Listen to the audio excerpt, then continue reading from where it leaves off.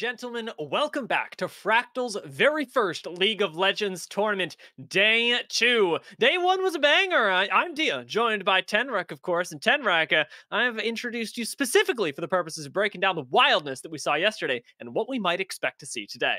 Well, we saw two incredible teams duke it out, take it all the way to three games last night Team Tri and Team Penta, but only one made it out. Team Tri is heading to the finals. Which other team tonight between Team Quad and Team Hexa will make it out to duke it out? For the stunning prize pool, including 20 SOL, a metric butt ton of Riot merch, and probably most importantly, a super special Discord role that only Dia and I have at the moment. What can you give us? Power maybe but what could it give you? I don't know you can figure that out glory every everything you could ever need. Most importantly the honor of being our very first league of legends champions. And hex and quad do need to take that step up today. It is their time to flaunt their stuff uh, for the rest of the for the rest of the audience. Because uh, let's be honest hexa and quad right now have a lot to live up to. Tri looked really good yesterday had great early game plans and hexa and quad as of yet are unproven quantities. But i'm sure they've got support in the audience. So hit us up in twitch chat with who you think is going to be our victor today. But who do you think it'll be, Tenrek? It's definitely a tough call. Both of these teams, they clearly have some prowess and some practice under their wings, which we couldn't say as much for the two teams that got to play yesterday. Both teams have had some more time and uh, both teams, they definitely have some followings behind them. We've always seen the hype in both Twitch chat. We've seen it in the Discord as well. We've seen it in between the teams' chats themselves. Everyone's really been paying attention to both of these games. But I think when it comes down to it, I think that Hexa has had a couple less stumbles along the way. They've looked mm-hmm. really clean. They have some really high elo players, and I, I I think that they have a bit more of a handle on the flow of how this match may end up. From I mean, what that, little I could see. I, I mean, absolutely. I think that it, would it would be odd were I to disagree with you, mainly because Quad has have gone through even roster changes in the days leading up to this. They're separated by literal time zones in between them, potentially a lot of lag problems. And with Hexa being so well practiced, having created their own Discord server in order to practice, I'm excited to see what sorts of strats they bring to the table, and I'm excited for what I can only assume are our underdogs in Quad because if they are able to pull out Game One, they're going to surprise everyone, and most importantly, Team Hexa.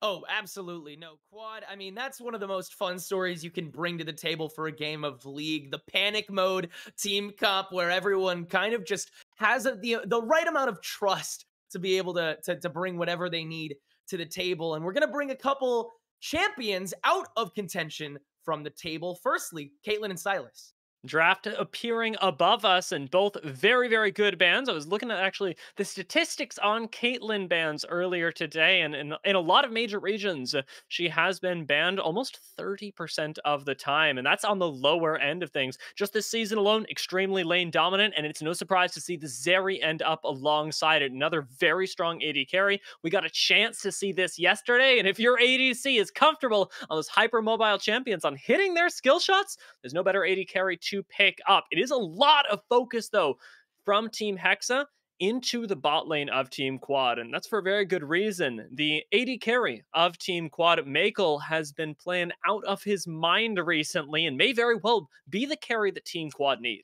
Hexa, they're very aware of, of what Quad is going to be able to fall back on, and they're prepping for it. And like you said, we saw AC dominate with the Zeri in the bot lane last game. Hexa definitely doesn't want to let any kind of domination like that befall them. Still a lot of definite bot picks. Jinx is still in the running, of course, but Hexa might get first dibs on that. Aphelios is also down there too, so still a diverse pool that I'm sure Quad will have no trouble picking from. I like that you mentioned the Aphelios here because there we go. Last ban looks like it's going to be locked, and we'll see what it was, as there is a small error in the pro draft. However, I like the idea of the Lee Sin. You could have removed something like the Xin Zhao as well, giving yourself an extra power pick, but now you've got the option to pick up two of them, both Xin and Aphelios available, and it's no surprise to see this Aphelios hovered. Likely going to see it locked in as he is the one true answer to Jinx in the late game. If you want any hope of being able to contest in these team fights, you've got to have an Aphelios. You've got to have a hyperscaling AD carry.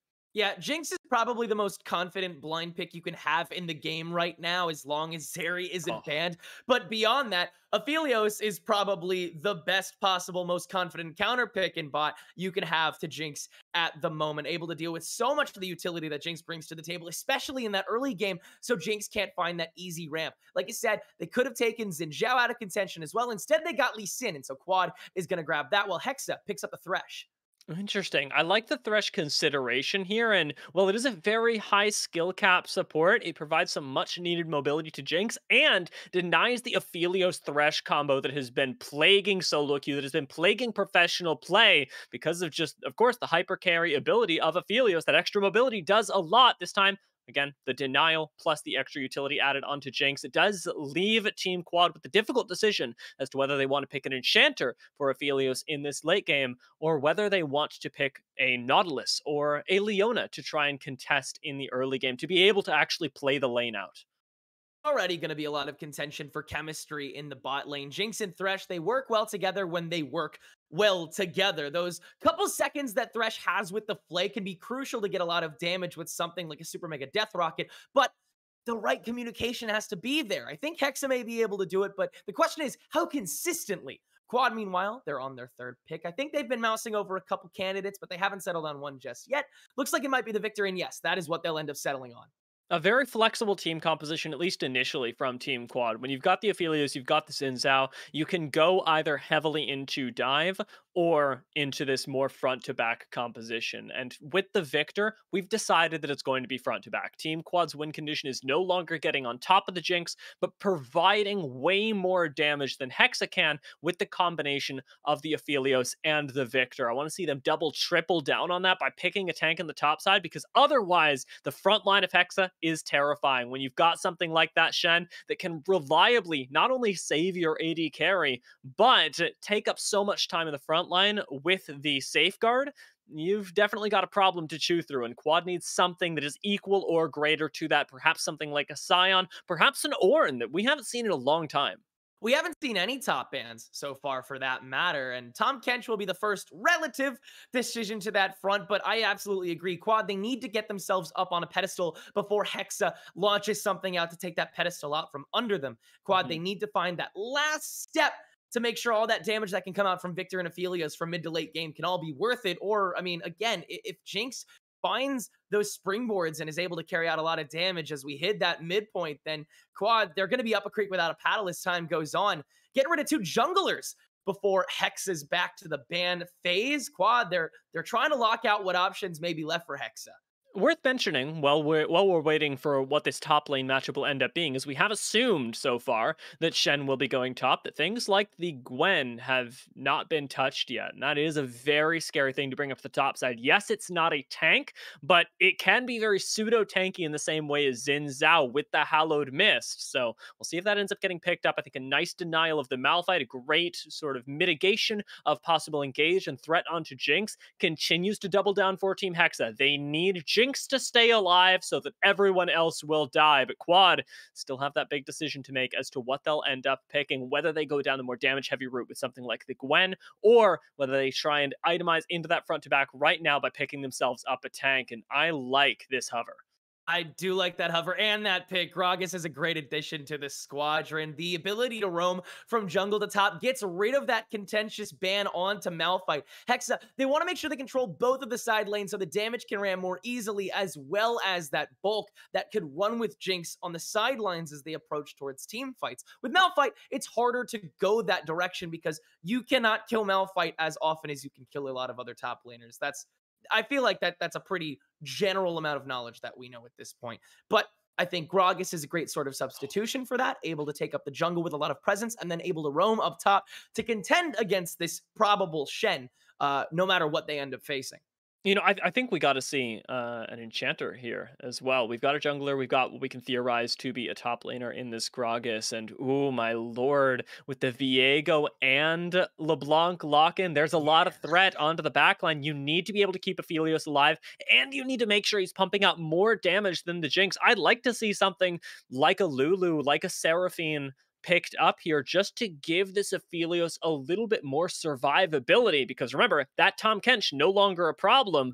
We did talk about this choice though. Enchanters mean that you get to play the late game, and it looks like uh, tanking tank supports mean that you get to play the early game. You get to actually lane against Jinx Thresh, and I can't fault them for it, but it is going to make things a lot riskier for Meikel in the late game. Hex try and be the party starters all throughout this game. They're gonna try and initiate with a Flay or some Herald Mist or or even an ultimate uh, from the Jinx or the Shen. Um, but I feel like a Nautilus might be able to mitigate that at least from the beginning to at least slow mm-hmm. things down. But that raises the question can they mitigate that for long enough to have enough control to stop that late game ramp that Hexa is going to try and lean on so dearly? I mean, we can only find out when we jump into the game, which it looks like these teams are about to do. I like both of these comps, but they have to be played to a T if they work out correctly. I do as well. And I mean, especially Team Hexa, right? We're looking at them and they have a composition that is all about keeping Jinx alive. And well, Viego and LeBlanc serve the important purpose of at least putting threat down onto Aphelios. There's a lot that Team Quad have, not just in the form of being able to again, backline with the Viktor as this sort of alternate win condition, but additionally in their ability to start fights. Nautilus, Gragas are really good at going, I want to fight now, and we are going to fight now. Team Hexa don't have a lot of those go buttons. A Lucky Thresh Hook would be nice. A Shen Taunt is unlikely. Team Quad should be able to pick only the fights that are best for them, and that's the sort of control, that's the sort of discipline that I am expecting, nay, demanding from Team Quad as we load into this to see their practice come to fruition, to see them take down the favorites in game one. This is the comp they need to do it. They're going to need to stay disciplined and they're also going to need to stay ready because, yeah, they'll be able to start fights, but can they actually fight? When they mm. start them. That's going to be the biggest question I think for me as as the as the game sort of proceeds on as as we get through those wave clears as they try and play catch up with that CS. Will they be able to actually fight something for long enough for them to gain control, gain those crucial bits of territory, gain those kills as we head into those river contention spots? I mean, uh, we're likely going to see it really early, where most teams would fight around first or, sorry, would rather fight around third or fourth dragon. This is likely going to be a combat over the first two dragons, because uh, looking at the way that the lanes line up, top lane should kind of be a snooze fest. These two guys should be much more about being able to join the rest of their team and have impact later. But when we look at the mid lane and the bot lane, there's countering push. Rune Scimitar for Team Quad in the mid lane should have push with the Viktor, but in the bot lane, Jinx Rockets do so much for Laurel. And this should mean that both teams have the same priority when it comes to this dragon from two different angles. They should meet around those first two dragons. They should scrap. And at least when I'm looking at the Zins out, it may just favor Team Quad. But to figure that out, we are going to have to wait until we get onto the rift. So we are going to take this to a very short break as we wait for the spectator delay to tick down. However, Tenrek, it's time for me to remind you that this event is, of course, uh, bringing you casters from Beyond Ranked, a platform where you can book commentators for anything, whether it's a tournament, a league, or even a show match between friends. You can find commentators to hype up your gameplay. You can use Beyond Ranked to manage your entire broadcast by finding new talent, adding them to your team, and assigning them to specific broadcasts. No longer do you have to use spreadsheets and doodle pools. You can use Beyond Ranked. You can check out beyondranked.com or hop in their Discord today. And with that, we'll be right back.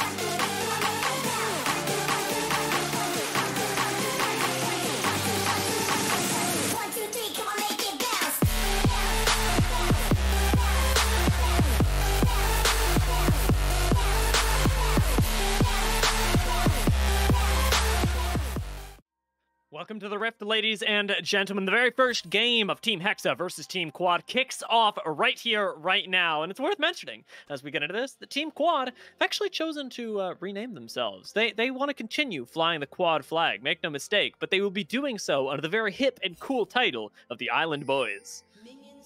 No, uh, they're, they're, they're super with the times. They're, they're right up there in the moment. I love it. It's great. I can't wait to call them that for this whole match. I'm gonna Are you gonna remember it? every single. I'm gonna remember every single time. I, I'm not going to sing it. You know, you know the song, right? Never gonna sing that. I want. I, I want to say yes, but I also want to say no so bad. I'll, s- he, he, he, it's, it's, it's okay. I'll sing it for you. Please don't. I please- th- I'm an please don't. island boy. I'm gonna do it the rest of the time too. I'll, I'll split it up so you, you know it's, it's, it's gonna it's gonna be slow. Every time that they get a uh, you know, the first couple kills they get is It's a, no, with- it's great. you with a little island boy. We'll, we'll get to make so many puns about islands after you know what we end up seeing from Quad. You know, if if somebody you know goes out on their own and like lurks, that we that could be an island. Oh could- yeah, like, like, lane. Yeah, like somebody could be like deserted over in like bot like support could roam for too long and ADC could be left around. That's a, that's like an island. Then you're an island Like, boy. That's deserted. it. That's, like a deserted island. Yeah. Island, island boy.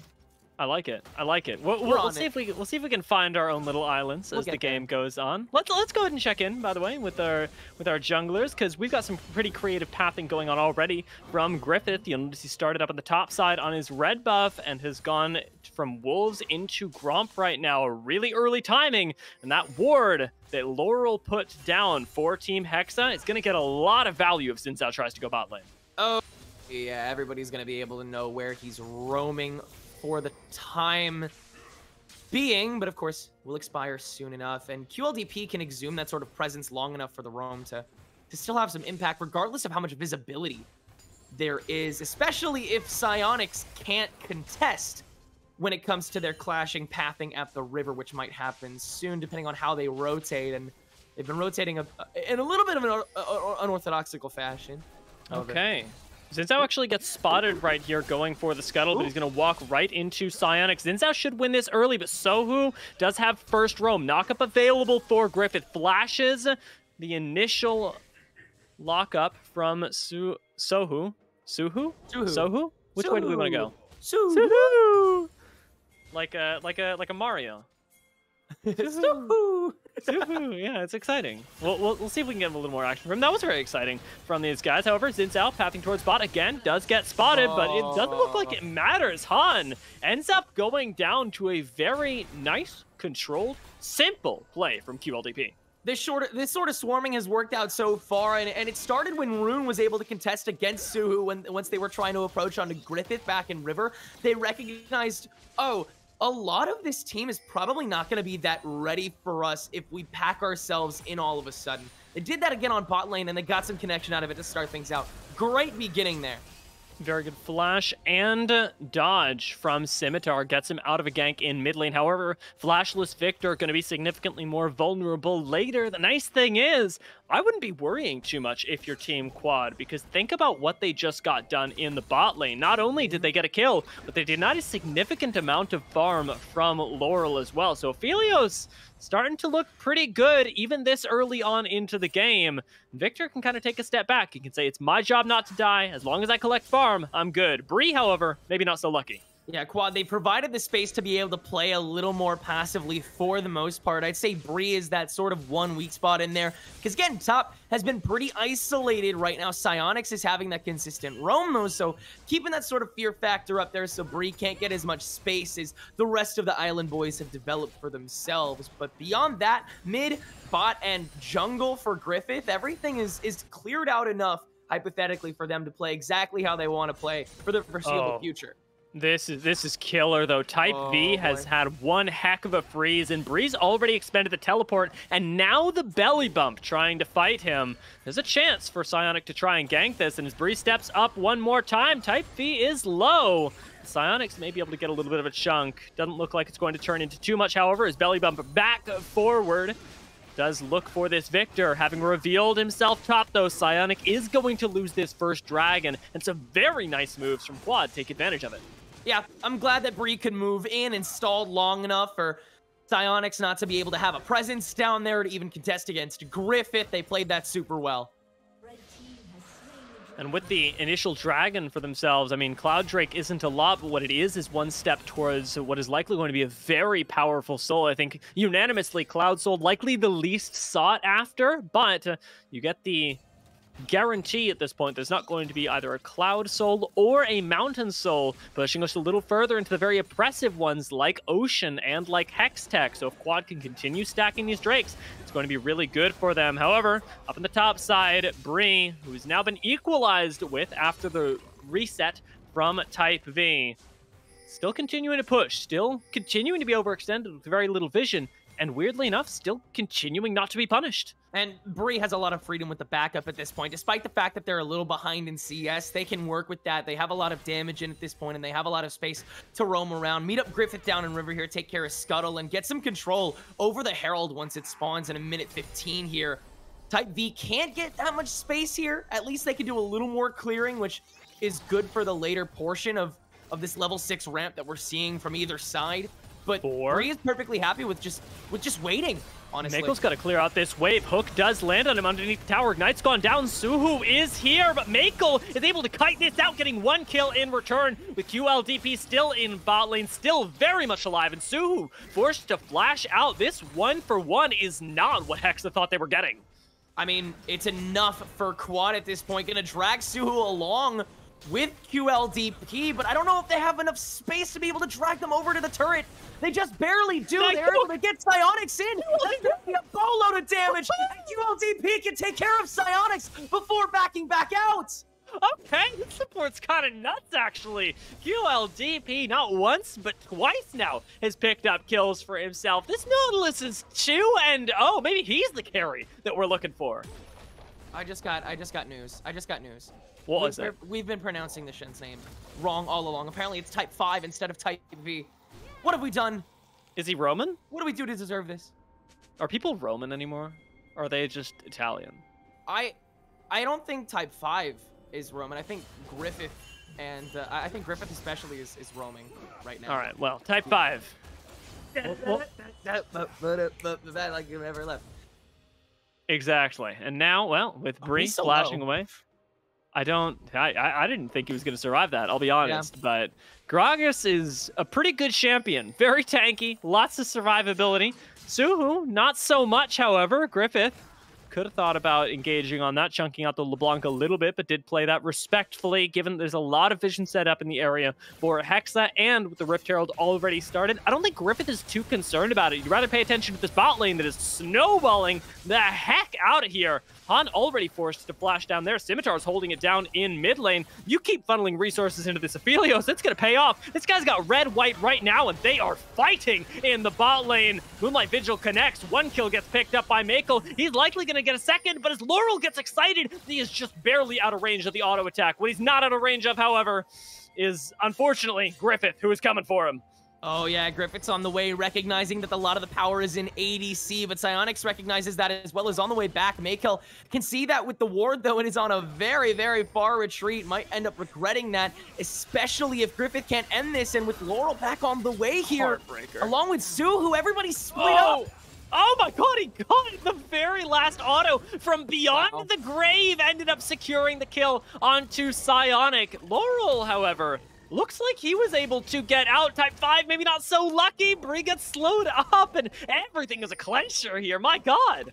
I I mean, this is just constant fight after fight. Everybody scurrying to try and get those opening kills. It's funny because Quad recognizes that they need to stop the ramp from uh, Hexa, and so they want to get kills early, but Hexa, they know that, and so they want to stop uh, Quad from getting kills early, which means they want to get kills early. So it's just going to be clash after clash after clash as this goes on, and nobody is letting up. Bree is still taking so much space, even though the health gaps are not that large. They're still both pretty low. QLDP and Mako, despite the apparent gap that they formed for themselves right now, I have no doubt that they're going to still try and command this bot lane as well. And Scimitar, he's, he's vibing, he's chilling.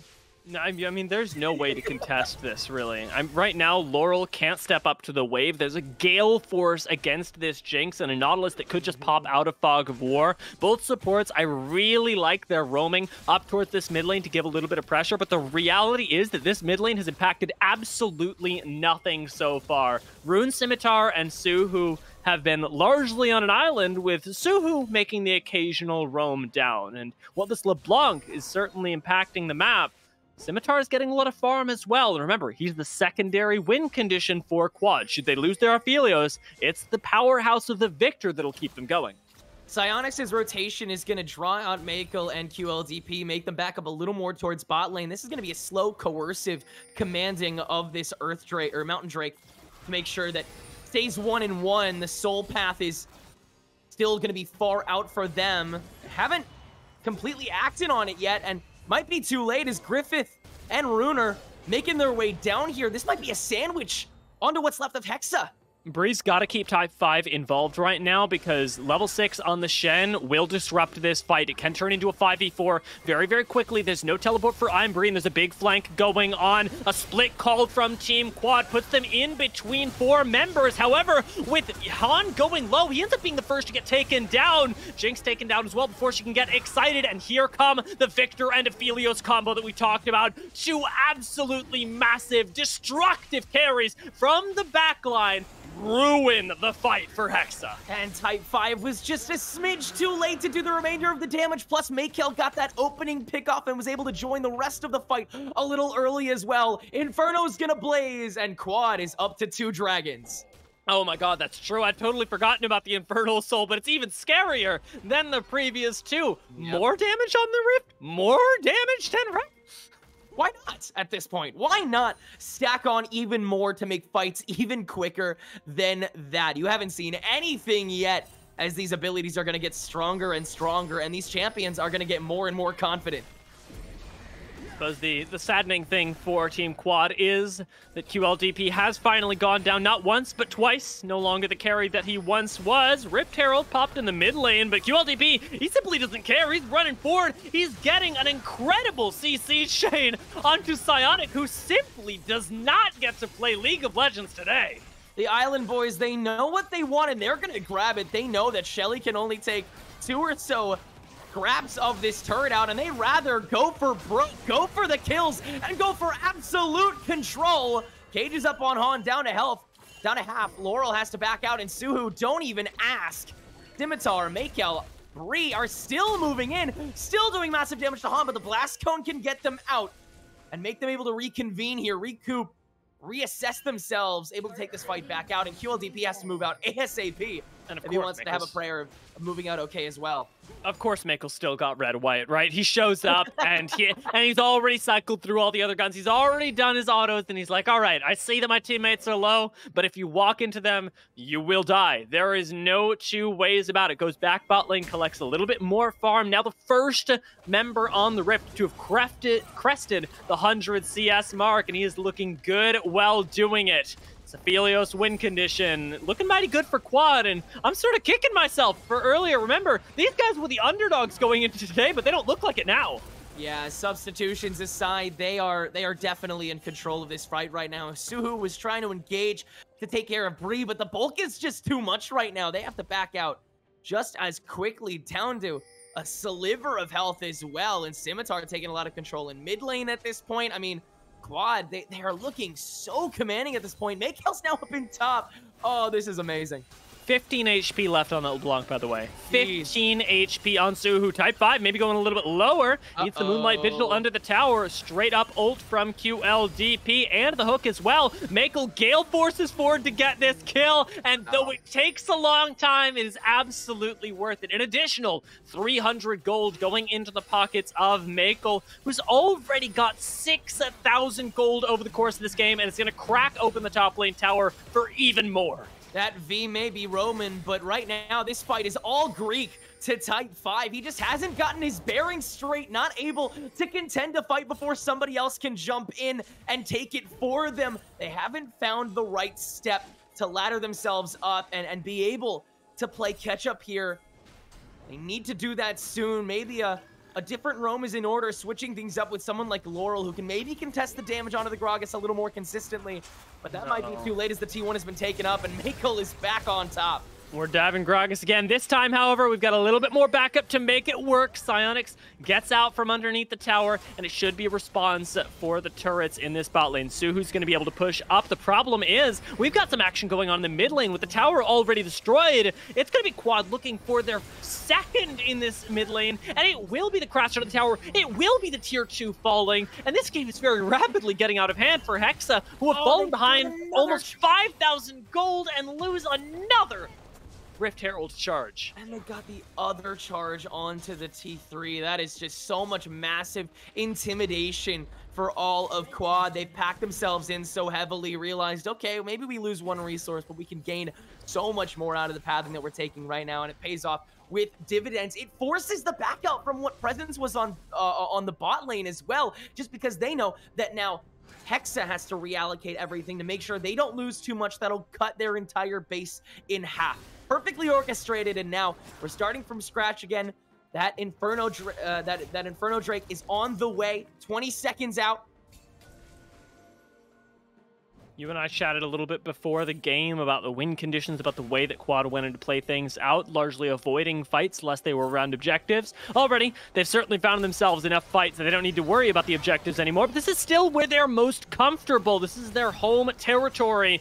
And up around this dragon spawn, it's already engaged going through. QLDP gets an excellent ultimate onto Laurel. Shen ult comes in, the Stand United brings everyone together, but it may have brought them together to die. Mako already picking up the first kill kill, and Dragon be darned, we're going for the base. And Suhu's late to the party here. They were considering going for that Dragon, but then realized that the fight was too contentious to ignore, but they Ooh. may have ignored it for just too long. Scimitar, another kill. Type 5 is backed out by Griffith, taken down as well. That's going to be mid-turret, that's going to be mid-inhib, and that is going to be a lot of presence from the Island Boys.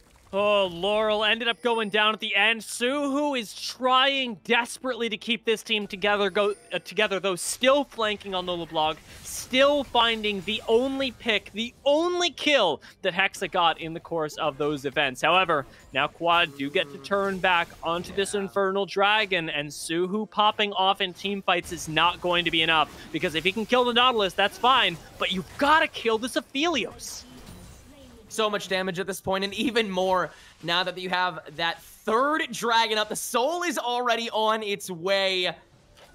Hexa, uh, they've had no answers to a lot of this so far, and it's starting to show more and more every single time a fight happens. And Quad, they are picking these fights every single time they see a body. Han's getting spotted already just now, but I don't think QLDP or Griffith are going to really engage. They're going to save all their chips for when this Baron comes up in 90 seconds hoping that they'll be able to secure that one. Well, Hexa wildly hope that they'll be able to steal this one away. They do have the Viego with the Heartbreaker that can reset in these fights if he gets going. He's gone the Divine Sunderer route, the slightly tankier one that gives him a little bit more opportunity to pop off in the fights. But again, so much of their focus has to be around sh around shutting down Mako, and they are the team with not a whole lot of access to that backline. Something else that we talked about in draft, returning to this idea of the Gragas, of the Nautilus that can start fights, that can find that backline with with the disruption for Team Quad. Hexa don't really have that. It's got to come down to Han with an excellent play, perhaps even Flash to back it up. Type 5 invading into the back line alongside Psyonix or Suhu, and that's all leaving Laurel undefended. So you've got to pick your poison right now. I- am picking shutting down Mako if I can. How cool is this quad? Thanks to just glimpses that they give Hexa, have sort of corralled the blue side into these tight little corners. They pack themselves in a little too tightly, save for, of course, Type 5, who's back up in that top lane, back to old island shenanigans in that type site. Griffith is going to bait out a lot of chains here, but it might Infernable, Infernable, but, Oh, Mako, so much damage coming up from the backside. They just cannot engage properly from a distance such as this one. Again, taking a fight that you just can't win right now. That was an incredible moonlight vigil to bring Makel's explosive power to a very, very quick reckoning for Team Hexa. Another big shutdown for them as the fight continues in this top side, and Type 5 may get a solo kill. They're close to it, but Bree can hop out just fine with the flash and may actually try to get back to their teammates as they're going to go for bot three. And I mean, the rest of Hexa is a little busy to deal with that too. This is so much space overtaken. They won't completely take the inhib. They know when they're not wanted. They know when they can't win a fight, and they are determined to win every single fight that they can actually take. Notice that in between these as well, Meikle is constantly cycling guns, constantly mm-hmm. using abilities to try and get rid of ammunition so that he can get back to that red-white the very next time. Griffith, maybe a little bit caught out here. Shanes will connect. This could be a very big pick for Team Hexa, and it will be as he's completely isolated on the wrong end of the jungle. Baron available as well. If you finish this pick off, maybe you go for that miracle play. Oh, yeah too many too many people around Griffith at that point. He was a little too alone for a little too long able to take advantage of it. That 5v4 for the next 30 seconds could be massive for this Baron fight, which Hex is aware of. They're going to try and take this out. Like you talked about, though, that numbers advantage, really, really big right now. Bree does stop them, and Scuttle Crab is doing a lot of work, even with a small amount of vision provided, to keep Quad in the know. It's just enough to make sure that this Baron isn't going to go down because Griffith, he's up in three seconds. He's going to be ready to fight. Bree gets away. QLDP engaged on Hook, not going to connect at least initially, but does end up getting the big knockup and the big kills first as Han goes down. And once again, Meikle with red and white is unleashed, flashing into Laurel at this point. Aphelios fears absolutely nothing, and a heal to speed him up only further demonstrates it. Last auto, not quite going to connect, but he's won the spiritual battle at this point, and he may very well have won the game for his team. Meikle and company are going to get to walk their way into the Nexus and start whittling away at these towers. Quad set them up, and even at a deficit, they are knocking them down again. Meikle just couldn't be properly contested from this backline, and Hexa, they took too much time in that Baron contest. They had the space, they had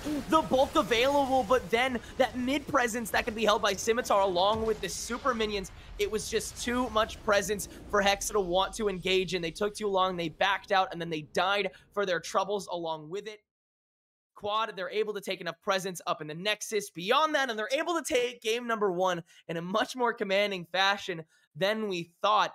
Where where are the subs for my team like that? I I know these guys really popped off. It was terrifying to watch. And let's remember, Meikle wasn't even a sub. Meikle was on this team originally, and he's absolutely destroying. I look at the performance from Team Quad, and it was all around amazing. QLDP providing a lot of setup, but you need an AD carry that's able to knock that down, that's able to follow up, and that is on the same page. That was Meikle all game long, and I am still kicking myself for even suggesting these guys were underdogs because they look so practiced.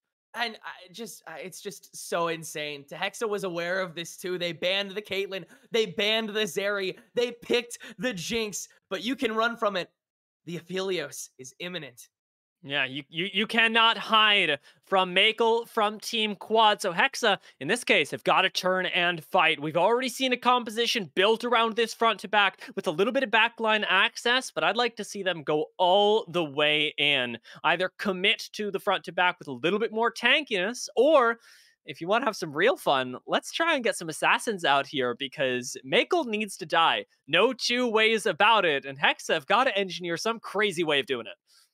They, they've definitely got to figure something out, and they've got to do it fast. Only one game separates Quad from Hexa and the finals. Don't go anywhere. We will be right back for that game, too.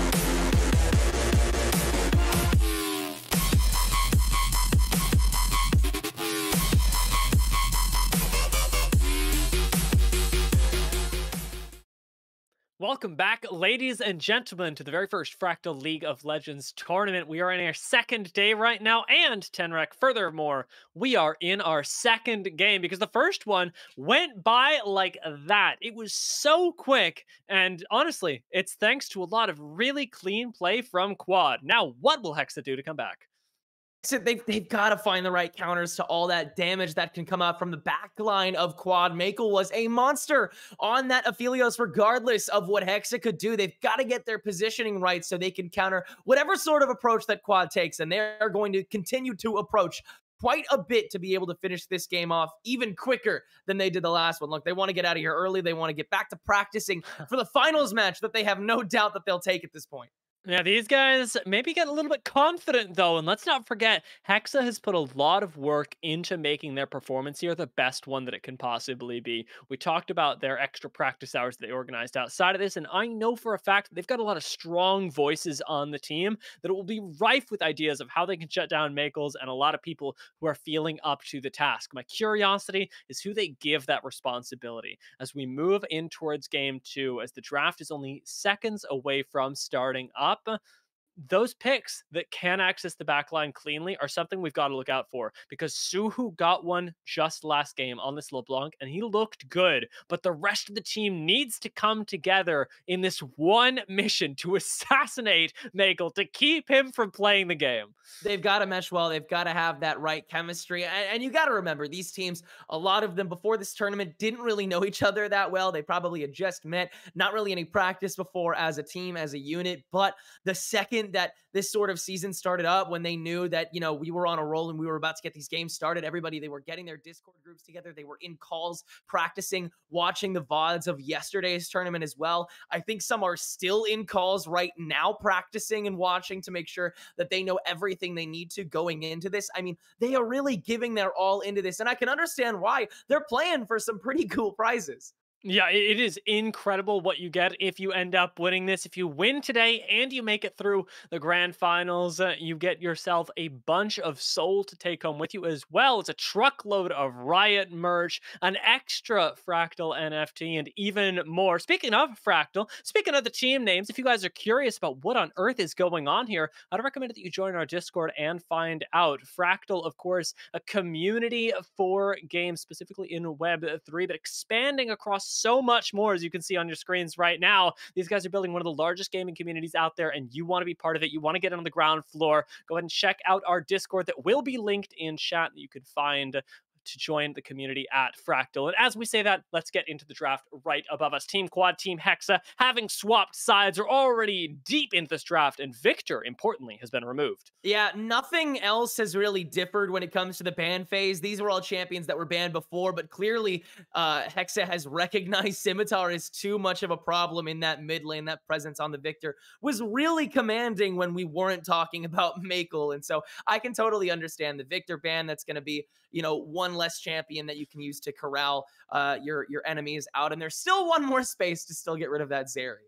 Mm, thank God there is, because Zeri in the hands of Makel would have been something that I don't think any of us yeah, were prepared for. However, we do have that Jinx available, Aphelios as well, and Hexa are in the unfortunate position of only being able to take away one of them, and I really don't think you want to give the other over. So we'll see how creative they get with those first two picks. Xin Zhao already picked up for Team Quad and a very high value pick for them last game. I love this pick for quad, not just because Griffith did such an incredible job on the Xin It's asking Hexa to blind pick outside of it, saying, "Hey, look, we'll wait for you. We can we can work with whatever. Just let our jungler be." And that's what Hexa did last time. That's what they're going to do this time. They're forced to pick the Aphelios first. They don't want it in the hands of Makel, but that might just mean we might have a Jinx from Makel. Yeah, it's it's a tough thing to decide, right? And I like that Hexa identify at the very least that they know the Aphelios is good. They're not sure about the Jinx. They say, all right, well, we'll remove the thing that we know. And they get a great combination for it as well. The Thresh lock in, providing a lot of value. We talked about the denial of the Aphelios Thresh combination just last game. This time, going to be picked up by Hexa. So a nice move from them. But like you mentioned, Jinx is the natural conclusion on Team Quad. Yeah, Quad is going to run that Jinx. There's not too much chemistry that you can find from it so far, but don't worry. Quad is going to put those pieces together by the time that this draft is done. You can get a lot of information from Hex's drafts uh, or bands after these first three drafts, I'm sure that a couple other things will change. There's clearly a lot of notes that Hexa has to have taken, regardless of how little time there was to play in that first game. They have a lot that they could have learned from that, and we've already seen they've banned the Viktor, they picked the Aphelios first. They're trying to adapt, and Quad, they have to be prepped for it. I do genuinely wonder if this is going to be the time for them to ban something like a Nautilus. And wow, Team Quad don't even take the risk. Is. I was thinking back on last game and just how good QLDP was in the bot lane. Seeing that Nautilus come out again, it's got to be very scary for Team Hexa. But they can't forget that they need backline access over everything. Well, maybe a little bit of a gauge as well. Yeah, I think those are the last two slots that need to be filled mm-hmm. in. But I'm glad that QLDP picked up the Nautilus. Great get in tool, great get out tool to make sure that bot lane is going to be super heavily contested, despite the fact that there is a Thresh on the other side of uh, of that river. Ornn is going to get picked up by Hexa as well. There's your top laner a lot earlier into the draft than I think we saw uh, in the draft last game for either team. I'm interested why it's a blind pick for Ornn on top.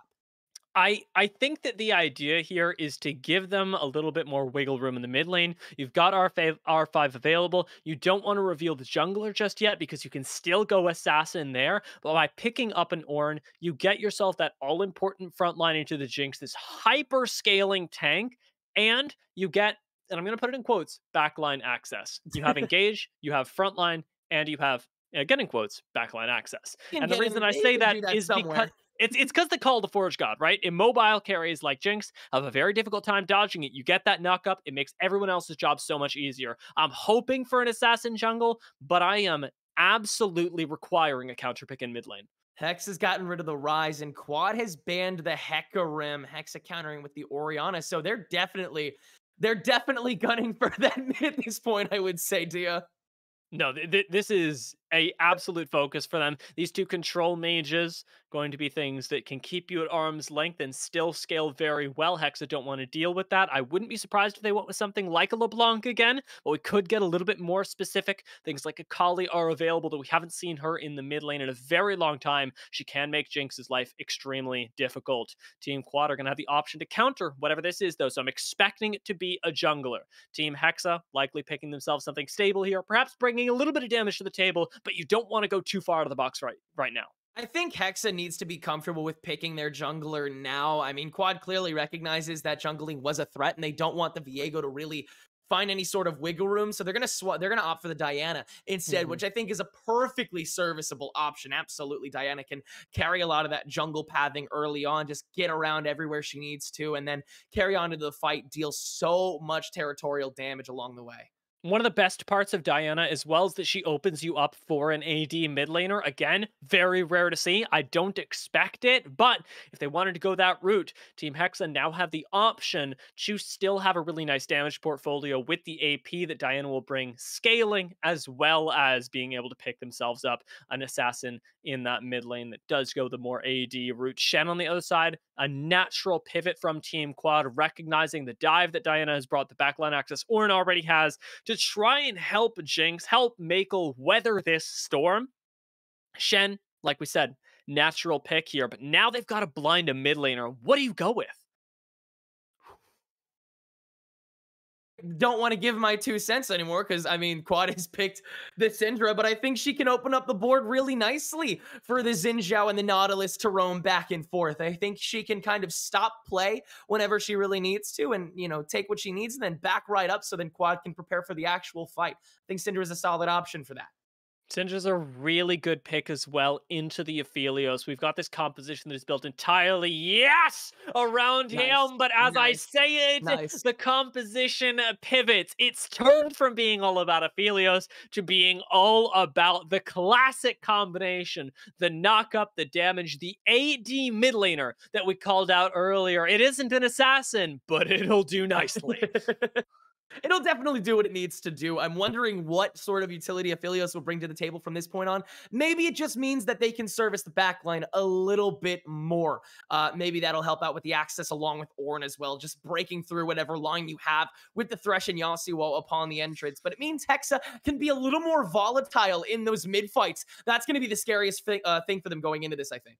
It, it, re- it really is. And I one of the things that I am worried about for Hexa as well is as much as I like their com- composition, they don't have a whole lot of early pressure. A lot of their ability to fight relies on hitting level six and ideally having one, maybe even two items picked up. And with that time, Team Quad can do a lot. We saw the Dragons play an instrumental role just last game for Team Quad, and they should have access to them again with plenty of wave clear in the mid lane, plenty of pressure coming from the Jinx Nautilus in the bot lane and the early power of the Xin Zhao, especially when compared to the Diana. With Viego, it's a little more even. Viego will lose, but it's slow. Diana will lose that 1v1 very, very quickly. And it means that Team Hexa are kind of kept out of the game and they're taking this bet. They're saying, I don't think Team Quad can finish the game before 25 minutes. And if they're right, they win. And if they're wrong, they're out. Hexa, they trouble contesting objectives in the first game, and it's not like they're going to stop having trouble now. What matters is that they can hold the game up by the skin of their teeth until they can make things work. It's going to be an mm-hmm. uphill battle at some point, but Hexa, they're willing to run uphill. I, I like it too because they've got multiple win conditions. If Psyonix gets fed, it's amazing. If Suhu gets fed, it's amazing. And if Laurel gets fed, it's amazing. Type 5 and Han, maybe not so much, but you've got three solid options, right? And that's going to be enough. Laurel, of course, a really big center point for the team, but I am really looking forward to the combination of this Yasuo, Diana, Psionic, and Suhu need to be on the same page at all times. Their synergy has to be on point, and if it is, they're going to be able to tie up this series. On the other side, of course, we are looking at Makel once more. This Syndra looks good. It can be powerful, I'm sure, but its job is to hold down the fort in mid lane so Makel can pop off. It is Makel, Makel, Makel all day. It's going to be the same job that Viktor was trying to pull off. Just make sure that the mid lane is not going to be a battleground or a graveyard for anybody in quad. Syndra can do that job nicely while Makel is going to go for that Jinx ramp, but she needs some space to do it. Will quad provide it or will Hexa shut it down? We'll be able to find out in just a couple minutes when game two starts up.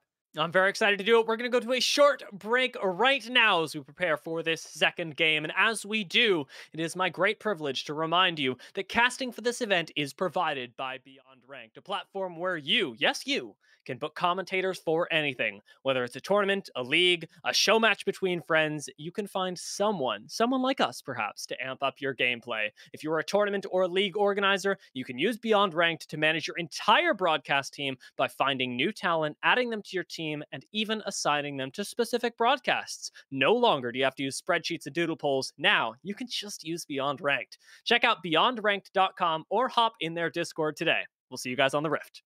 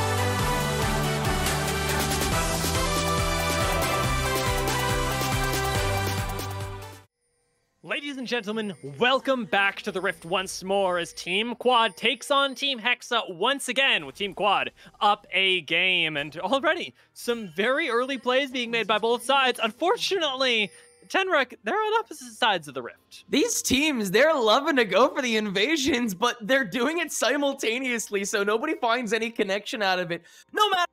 That just means that everybody can head to their posts a little behind schedule, but nothing will be that missed. It's funny, they're taking different strats for it. Everybody on Hexa is Ooh. just still moving as a unit Check towards mid, and it actually might meet Makel, Griff, and QLDP here. Oh my god. Oh, they're waiting. Nobody No thought way. it. There it is. QLDP finally sees it and flashes away. Four members still in the area, so it is risky, Oh, but the flash from Han catches QLDP. No flash on this Nautilus. Heal expended, and the tornado comes out to secure first blood for Laurel. You couldn't have written a better start to this game. Unlucky clip there for QLDP to hook away. Didn't get enough space out of it. Still had a little bit of bullet to carry him through, but sadly there was just too much damage from that close quarters to be able to get through. That's the exact kind of start that Hexa doesn't necessarily love to ride on, but at least loves to see for a morale boost.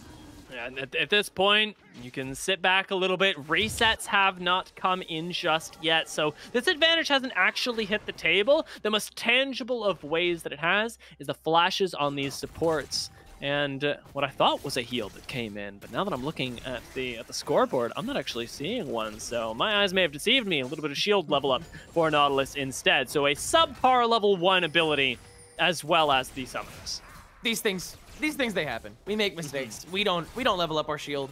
These things they happen. QLDP getting hooked away again. Nice. It there happens. we go. There we somebody go. Find happens. Find Laurel. Ignite. Ignite. Not gonna do it. Not gonna Oh, do it. Oh, One no, more auto from. Makel would have absolutely killed Laurel there. Yeah, but the flash is gone again, so a lot of Griffith. resources are already getting expended, and Griffith recognizes that. They're going to try and move in on this turn immediately. There goes Laurel, and Han is soon to follow right after. And just like that, Quad has taken up the bigger number, but not for long, as the turret will be able to finish off Griffith, and Psionics is on the way back to try and take advantage of what little health Makel and QLDP have left. This is already so much fun to watch in this bot lane.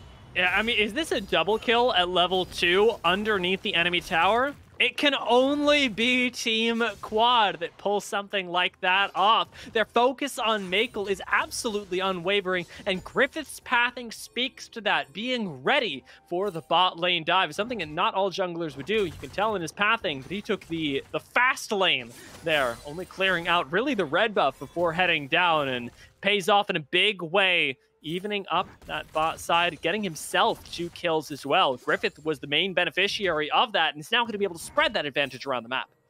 and Quad, you can tell they're they're trying to find every semblance of room they can to make sure that Hexa they don't uh, they, they don't find the snowball that quickly. Bree is so fearless going up against Type 5 and is getting an easier level up for it. Better CS at the moment. And I mean, Scimitar is, again, just still vibing in mid lane, doing all that they need to do at the moment to, to keep the rest of the team in a stable position. But Griffith is roaming around and getting cut out by Psionics right now. That means that. Scimitar is going to have to engage Suhu left alone right now after Psionics has to back out. But the damage is already done. There's one kill. Suhu gonna try and find another. This Yasuo is so awesome to watch. Yeah, really good stuff from Suhu. This is exactly what you need as Hexa as well to get this guy rolling. You get kills spread across all three members of the bot side, mid, AD, carry, and support. So at least this side of the map, very strong for you, and in a way that really Hexa had no way to expect. Their bot side should have been weak, and we're going to see how strong it is now. Hooks returned on both AD carries. However, Han's going a little bit lower at the time, and we run out of red-white for Laurel. Han going to go down. Getting excited is Makel Zap, not off cooldown just yet. And Laurel's going to be able to retreat into the minions, but he does it alone.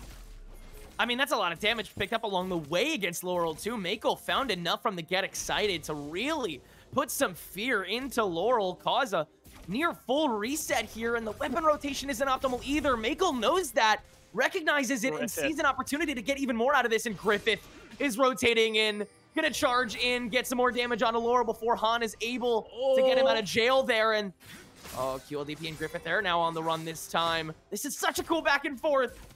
Rune did have Flash in that mid lane, so not too concerned about his own life. However, he's waiting till that level 6, wants to get the spike before resetting, wants to try and put himself in a place where he can, at the very least, burst a chunk out of Suhu. But it's going to be a tall order because take a look at the CS right now. 27 to 43 in this mid lane. In a melee versus ranged matchup, Rune Scimitar is doing unspeakable things, and I don't know how he's getting away with it. Yeah, I mean, he's been able to move around a lot more than I think we bargained for even during the draft. We assumed they were going to play distance and keep the presence so everybody could really do what they want to do, but Scimitar has had a lot more freedom than I think Hexa has let them, uh, or, or has intended to let them have.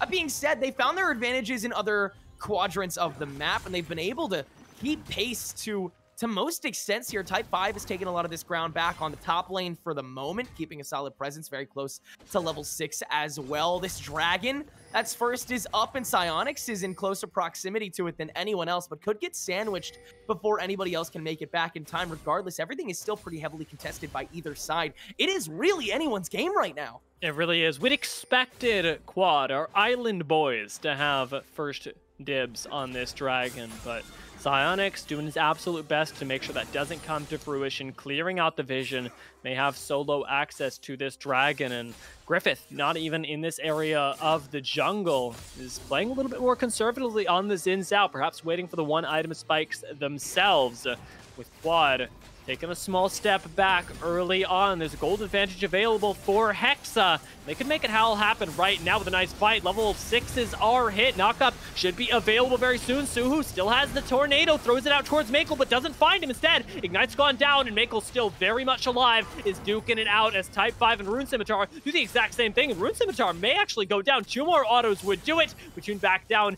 into the bot lane. Makel still very much alive, and I don't believe any kills on either side, but the Dragon went over to Quad after all of that. Wow, yeah, Quad, that was a great preemptive convergence there on top of the Dragon, knowing that everybody else was going to move in. Griffith was on the way, as well as Suhu kind of alone in the mid site at the moment. And of course, I mean, uh, Griff, I mean, uh, excuse me, sorry.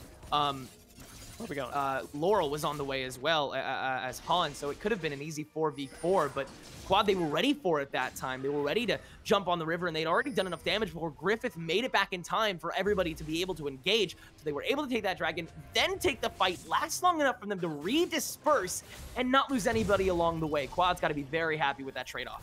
It's really impressive that they were able to pull it off. It only speaks to the experience, to the competitive nature of this roster, to the preparation that they have put into today. We know Hex has been doing a lot too, though, and to see this kind of early advantage for them, even if they didn't get the dragon, is already a win in their books. Because remember, they want to make it to the 25 minute mark, and then they want to start popping off. Hexa have so much scaling, so much damage potential, so much wombo combo on their team that a team fight where nobody dies, even over this first dragon, is a win. Yeah, if they stall for as long as they did against that first dragon, then they've got to be satisfied with how this game is going to end up going. We're 8 minutes, 43 in, and the second dragon isn't going to be around until after the 10-minute mark. That is mm-hmm. really, really massive. After the 11-minute mark, actually. But actually, no, it's going to be after the 12th. Oh, that's massive. That's really massive for the uh, My caster map doesn't support this. I, I can't do it. It's three, yeah, nine. Oh, just around the 12. Okay, and Griffith is going to grab that Herald as well. They're setting up the dominoes, and it's slow, but it is sure. I, I, am really impressed by the fact that Griffith does have the confidence to go for that Rift Herald. It is natural, you would think, looking at this in South Poke, mm -hmm. looking at the way these compositions should play out on paper. But given the state of the game, it isn't a given that he would be able to secure that. With Bree playing conservatively in the top side, you can tell he and Griffith are communicating. Griffith having other priorities right now, can't stick around top for too long, but does come to check in, make sure that his top laner isn't being dove, and ends up finding Psyonix in the meantime, going over the wall. They've got to 1v2 type oh. 5, but oh lord, not even getting there in time as the Brittle does Shen in and leaves Griffith topside with a Rift Herald, but not much else. Good catch. That's a great go signal for Psyonix and Type 5, along with Suhu. Hello there. How you doing, man? To uh, take as much space as they can in this top lane. It's funny.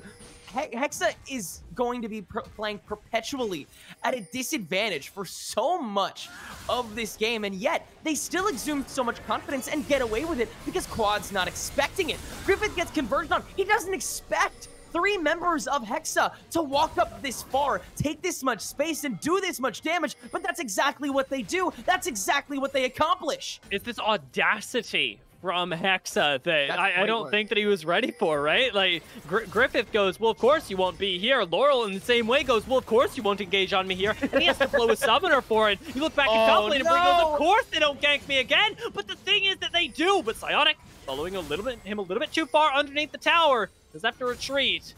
Ends Suhu's coming back, wave, though. And Suhu is ready. They want this kill. No knockup available this time, but it should still be a kill. Bree flashing away. Suhu taking up the tower. This Shen very nicely played. Wow, yeah, great rotation back and forth, baiting out Ooh. any and every attack and still surviving it all. And, you know, why not get a kill from Makel in mid lane while you're at it? This presence on mid, all of a sudden, due to the confidence that Hexa had in trying to take down this Shen, has actually led to a big opening on this T1 in mid. That rocket was thick with at least three C's. That was delicious to watch and feeding these plays into Makel is going to do really big things, especially the extra 300 gold that went over to Griffith, especially with the first tower already secured by Makel down in this bot side, but it does set them at a slight tempo disadvantage as Hexa have already reset and want to take down some plates in this mid lane. There might be a team fight a Bruin, and Quad aren't ready for it item-wise. They need to go back to base, and it might mean that they need to give up this dragon. Yeah, Quad needs a second, and they might have to trade this out. I agree with you, giving the Ocean Dragon away for the sake of holding out until the point where they're a little more ready to fight things out. But again, Hexa, they're totally okay with that. That means they can wait this Dragon out, take it down, get the buff, and then make the Soul wait even longer. That's even more time spare. That's even more time for Hexa to set up even more of what they need. They're already on their way to a really solid deficit up against Quad. Mythics are starting to get hit, though. Goredrinker picked up for Griffith, giving him a lot more survivability in that front line. Galeforce, a natural repositioning element for Makel, allowing him to both offensively get excited when he needs to and defensively back away from Suhu and Psionic when they get too close. Lockdown is going to be essential when we're thinking about Makel, and we are going to be thinking about Makel, so watch out. Whoo, Lord, Flash already blown from Psionic. Suhu thinking about the re-engage. A nice ward comes down to spot out that, that Diana Yasuo combo, that deadly Diana Yasuo combo, was just around the corner. Yeah, Han was there just in time to, to stop things, separate the kids in the schoolyard fight. Type 5 and Bree, though, is the fight that I'm watching a lot more, just because Bree has had to backtrack so often, so Type 5 has had so much space to level up. Now a two-level gap, but Makel and QLDP, they're looking to make a three to one gap, and they're looking to do it right now. Ult comes out, but all too late. There's the kill onto the Ornn, and this is the moment that Bree has really got to step up and find a whole lot of space. But instead, gonna back up and let QLDP and Makel do the talking in top lane.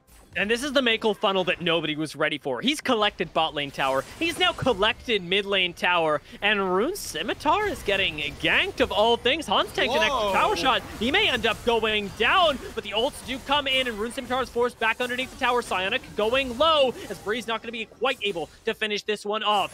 Shu end up in bot lane at the very end of all this. Suhu and Bree fighting it out. Psyonix clears away the jungle, but we were talking about Makel, and we're still talking about Makel because he's cleaned up every single outer tower by the 13 minute mark. Yeah, that was pretty even Stevens trade-wise, but yet Makel still makes the front page of everything we talk about that they happen to walk into simply because of the damage that they are already providing and the knowledge of when to come in and how to strike properly without getting punished. Oh. And they're gonna do it yet again. They're still on the run from Type 5, but there is no way that they find him. Infernum ultimate from Laurel does do a little bit of damage in return, but look at that. Nobody from Quad died. Instead, they continue walking forward, and Makel, Makel's on the way. He's found Han on the side, forces out the flash. Laurel, still all alone, gets deleted by Rune Scimitar, and that farm disadvantage in the mid lane, not mattering so much anymore. Not when you can roam around as a death squad and pick up four kill participation in such a short amount of time. Quad's reconvene has worked to a T up to this point. Their ramp has their, their ramp has been on par with where they want it to be, despite all the setbacks that they've met earlier on in the game. Even though they only have that one dragon, they still have a lot of control over where they decide to go. They still have three turrets, which means they still have a lot more gold, and they are still insanely threatening as we approach 16 minutes now. Hexa, they are running out of time to run out of time. They, they really are, and it's a scary concept to think about. Mako picking up the red buff now, getting prepared for this next Rift Herald. Griffith is already set up and is starting to execute. I think Hexa are very well aware they cannot fight the objective at this time, but they may just go for it anyway, because we're getting a few pings onto the Rift Herald, and if they do, if this goes wrong, Hexa could be shut out of the game entirely. Psyonix goes for it, pops down the ultimate, but doesn't have enough damage to deal with the double team that is Imbree and Griffith. Meanwhile, Mako gets out of a 2v2 with a double kill, leaving Suhu all alone at the very end of everything. We'll have that knockup. Doesn't connect onto Mako though, and if it's not connecting onto Mako, it's not worth a dime because Mako props this team up. I adore how everyone knew exactly how to manage their roles in there. Bree came in a second late, jumped in on the competition. They weren't expecting the double team. And then QLDP could take all the remaining damage from the other side. Every distraction works perfectly there for Quad, and they're going to get a whole lot of connection out of it. A Rift Herald along with another solid back with so much territory taken up. Mako's 5-0. He's got 9,300 gold. The guy's almost at 10,000 gold, and, and when he reaches it, he will be at nearly double the gold of anyone on the enemy team. Hexa are not coming close to touching what is a nearly divine Jinx right now. And that Diana Yasuo combination is starting to slip further and further away. We saw it disjointed at the start of the last Herald fight, but Psionic and Suhu need to be on the same page, and that page needs to be titled, underlined, and highlighted as Mako. Psyonix has definitely made an impact in the game so far simply by existing. Running in on the mm-hmm. fight early on in the game has made it so QLDP and Griffith can't roam around as much as they had pleased. But now comes time to really complete and actually do the damage that you need to as that Diana. And so far, Psyonix has just been denied all too often. And with the space that's been taken up by the turret control, I mean, look at the control that Quad has over this river for Dragon already. Before any sort of fight even begins, before the Dragon even made its way onto spawn, before anybody could even really get a grip on where they need to go, Quad's gonna grab this. It does not speak quietly that Psionics, despite the amazing play this game, has been forced to take Krugs while the dragon is taken. It is not a position that you envy seeing as a jungler. And watching this happen only makes things more difficult for the rest of the team. Suhu in particular, who uses that wind wall defensively and all alone doesn't have a prayer against the army that is Quad right now. 15 to 6, the score line, nearly a 10,000 gold lead as we're approaching it second by second. Rift Herald gets summoned, and it's going to be another crash into the base, potentially even an inhibitor tower taken. Oh yeah, you can tell that Hexa is prepped for fights, but Quad is taking the fights to where Hexa doesn't want to be, and that's leading to catastrophic amounts of damage in the weak points that Hexa sets up for themselves when they try to get a different kind of fight going. Yeah, bot inhib's gonna go bye-bye, and I mean, Quad, they don't lose anything for it.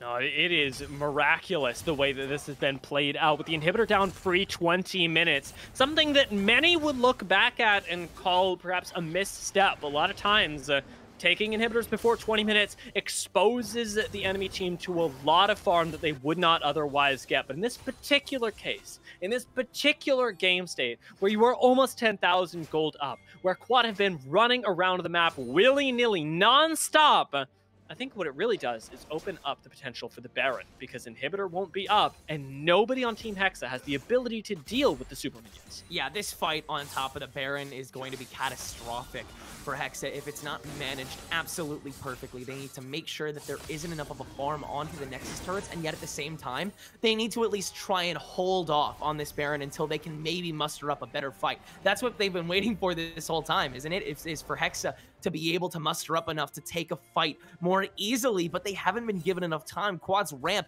in this mid game has been so dynamic and beautiful to watch. And now as we approach the very same amount of time that it took Quad to win the first game. They are still looking as good as ever. Type 5 is about to be caught out. Psyonix is about to be caught out on a different front, but in the very same no, lane. Run Psyonix, he can't be here, not without Yasuo, and Suhu is just starting to leave the base right now. It feels bad, there's no way to save Type 5 there. And as a result, there's really no way to access this jungle either. Complete vision dominance for Quad. There are, is a mere single ward outside of the turret right now, providing a little bit of information to Hexa. But if you can't step into your own jungle, you certainly cannot step into the Baron Pit. And that is the next step. As Quad continue to push up for this tier 2 ultimate comes down. Laurel goes down as the Mega Death Rocket connects. A double kill goes over to Griffith and in a split second, Quad tear Hexa apart. Just hand the deed over. This Summoner's Rift is officially completely owned by Quad. All Hexa has left is their fountain, is their entire base, save for one little inhib that is about to respawn. Quad, they have control over everything else. The dragon, the baron, the turrets, the minions, they have it all, and they are about to work with what they've got, which is everything. I, I gotta say, that Hexa have shown some extraordinary gumption this game, but as we said yesterday, at this point, it will take a miracle for this team that has communicated, that has set up practice, that has executed on some really creative game plans and drafts to actually pull this game out. Suhu, you can tell, desperately wants to come online, needs that second or third item to finally hit his power spike as Yasuo, but he may not have access to it. These super minions are his life's blood, but he needs time more than anything quad. They're just as packed as Hexa was. If Hexa took a fight a couple seconds earlier, they might have had a better shot at it, but the entrance is already there. Han is too low level to do too much damage, and Psyonix has already been caught out in the middle of the fight. QLDP is also down the side of the fight as well. So Type 5 can't get enough connection with that oh. ultimate, and it's gonna get slain first for it. Then the Yasuo soon to follow. Everyone else is on the back. Oh, Han gets by a long shot on the Death Rocket, and another kill. The tail there from Meikle. If that's not a great way to finish off something like this, Meikle getting the 5K, I don't know what is. It's unbelievable to watch it happen on the stage in front of us. But if anybody was going to do it, Meikle was going to do it. Team Quad now ceremoniously get to walk their super minions into the base, get to send themselves into the grand finals for Fractal's very first League of Legends tournament on the back of a 2 to nothing. This is one of the most dominant teams that we've seen, and they are sending themselves forward with the promise that they will continue to dominate. Quad, they took every step, every advantage, and they used it to their absolute fullest. Quad was able to take game two in just about the exact same amount of time that they took game one in somehow even more commanding fashion. It's the Island Boys heading to the grand finals. You do not see a Penta every day, but man, oh man, when you see it happen like this, it is beautiful and it was orchestrated from so early on. Massive props to the quads, quad squad That's for outlasting what was a very difficult early game to play through. Hexa put up a big fight in game two that Quad were somehow able to overcome and turn into, like you said, one of the most convincing games we've seen. Yeah, Hexa, they put up a solid barricade with some great kills early on and a lot of denial for what Quad was looking for to set things up. And yet they found the damage somewhere, they found the gold somewhere, and they won fight after fight after fight after fight. They took the Nexus down with them. Quad is your winners for tonight, and it's only 940. Uh, yeah, it's it's crazy the way that these these guys were these guys were able to execute on an inhuman level with a snowball like that. I'm surprised we weren't seeing a Nunu. That was some incredible stuff, and I look forward to seeing them in the grand finals. And I got to tell you, you guys should too, because they are going to be aired right here. If you want to know when and how to catch them, I'd certainly recommend joining Fractal's Discord. Fractal, of course, a marketplace for gaming NFTs, durable assets that let you do something inside of a gaming universe. And we've got the biggest community for it right here. Our mission is to create an open platform for the free exchange of digital goods. And we do that by partnering with the best gaming companies, launching NFTs, and building tools that can help them reach customers at scale. It is a massive gaming community. We are hosting tournaments like that, like this all the time. And I recommend that you guys join if you want a piece of the action because the prizing in this grand final is something that is through the roof that wows me every time I think about it. Make sure to check out the other socials for Fractal as well. Follow us on Twitter and YouTube if you haven't yet for extra updates from the entire community. And of course, if you haven't hit that magical purple button below the screen right now, follow Fractal's Twitch, aka Justin's Twitch. I suppose we're going to be, be doing a lot more events like this in the future, hopefully, with an ever expanding community. But the end of this first event will conclude with these grand finals, which will be coming to you very, very soon. But until then, Dia, I think it's time we take a well deserved rest, as do these teams, as we prep for the biggest match of all. It certainly is. Thank you so much, Tenrec, and to all of the production behind the scenes that made this possible. To you, the audience, for tuning in to watch some of the most beautiful League of Legends that I've had the opportunity to witness in quite some time. And of course, a reminder to be sure to tune into those grand finals. Quad versus Tri. Join on Discord, follow our socials to make sure you know when it's happening because you don't want to miss it.